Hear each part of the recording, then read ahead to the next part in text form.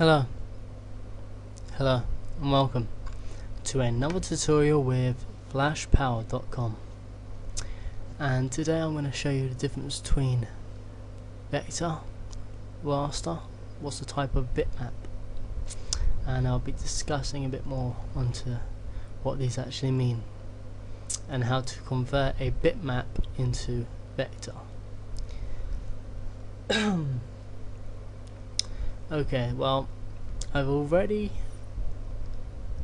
imported a couple of pictures and that's by going file import go and find the pictures click on it go straight to your library.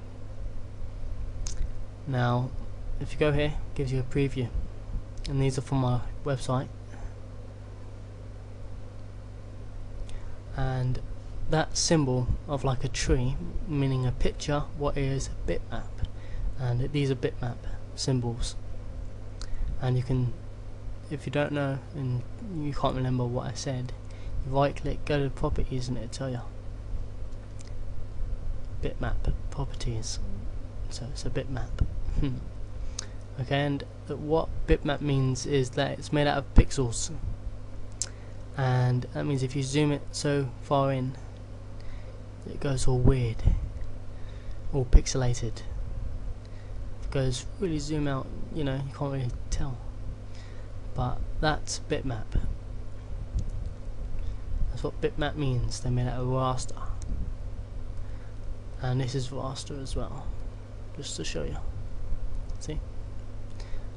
Now if you wanted vector the different to see that's made out of pixels. Vectors made out of like a cangulated thing. It's made out of it's not made out of pixels. Meaning what's good about that is you can zoom right into infinity and it won't pixelate. It'll always keep its shape. Okay. That's the difference between these two things. But you'd realise that most pictures nowadays I don't know it's slowly changing. So it's slowly cha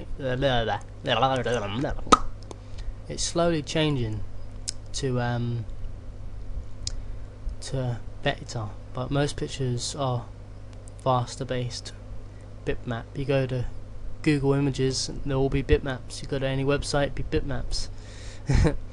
So uh, yeah you you want to get a picture and you want to make it to a vector so you can put in animation or, or something like that and also a vector has less memory.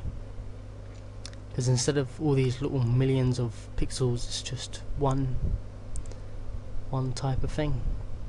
So to convert it I'll make it a little bit bigger. And it's in a bitmap uh, format already.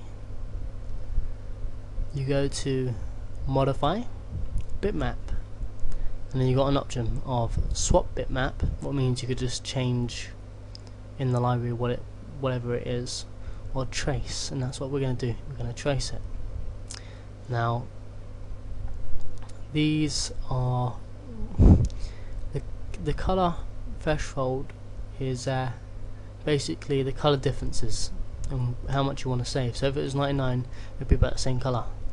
If, if it's one it, you'll probably pick up most colors but it takes so long to load. So I'm going to keep that as 4 pixels mm, 5 very smooth. That, put that to, to smooth. Few corners. It to normal. And in Flash CS4 we have the option to preview it. And as you can see it's still kept what it originally looks like. And if I select this and move it in the background where it's not white. You would see that it's got a background with it. A transparent background because it is didn't say you, said you. It's a transparent background. See it? but anyway so now it's not bitmap it's vector meaning you can zoom into infinity So that's the difference between bitmap and vector. And this is brought to you by flashpower.com. Have a look at my site. Um, I'll show you where it is right now and you can have a look. I've got tons and tons of FLVs, FLAs, sorry, of hands and eyes and certain things where you can go in the library, pick them up and make your own artwork with the clips. Um, yeah, I've got some guidelines. Come on. Hopefully, uh, let's see um, what I'm doing. Hurry up, man. Come on, come on. Okay. And this is my site. Just gonna activate ActiveX. If you're ActiveX, why are you not active? Uh huh, uh huh. More like non-ActiveX. So, anyway, so this is my site. I've got loads of FLAs, and uh, I'll go into more depth. You know, if you want to find out about me or whatever, you know, go on my site, and I'll put the link like I do in every video that I'm going to be posting. And my previous tutorial I haven't done yet. My previous tutorial, um, you should have a look, comment, you know, communicate. Communication is good for everyone. So this is a flash power presentation to you to, to, to explain the difference between bitmap and to explain the difference between bitmap and raster based bitmaps. And vector. The difference between vector and raster vector and raster bitmap yeah bitmap raster vector vector vector raster I can't talk. Yeah anyway so that's the difference. So next time you're on whatever, remember that bitmap is made of rasters. What is pixels? Wow, all that in a bitmap.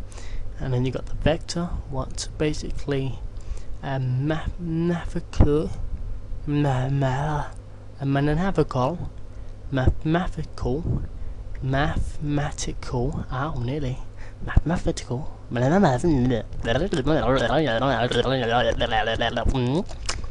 yeah.